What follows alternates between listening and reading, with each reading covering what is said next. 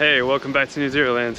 So this is a video I never thought I would make. I guess because I, I never thought it would actually happen. Zero motorcycles are finally gonna have DC fast charging. That's right, the new bikes are gonna have a CCS port. So I'm walking to the airport right now because I'm on my way to the US to get a first look, kind of like a exclusive test ride on their new bike. I'm so excited because this is huge news.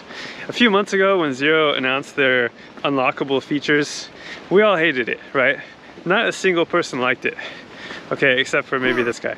So we all focused on how shady the Cypher store was, but I feel like we missed one of the coolest things that they added to the new bikes. The engineers added active cooling, and this wasn't just for the current models to make it so the batteries don't overheat. This was part of a master plan that Zero had to get all of the bikes ready for when they had DC fast charging. And now they do. See you later, Windy Wellington. That one.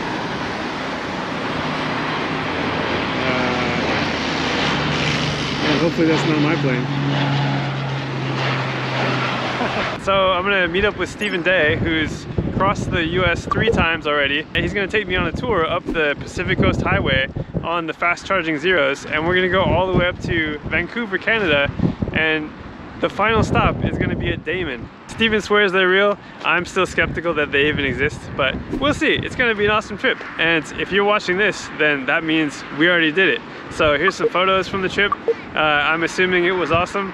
Uh, I'm letting Steven do all the editing on his channel, and so here's a link. I'm gonna either either in the video or down in a comment a link to his channel. So go watch the video. I'm assuming it was a really cool trip. So thanks for watching and i'll see you guys next time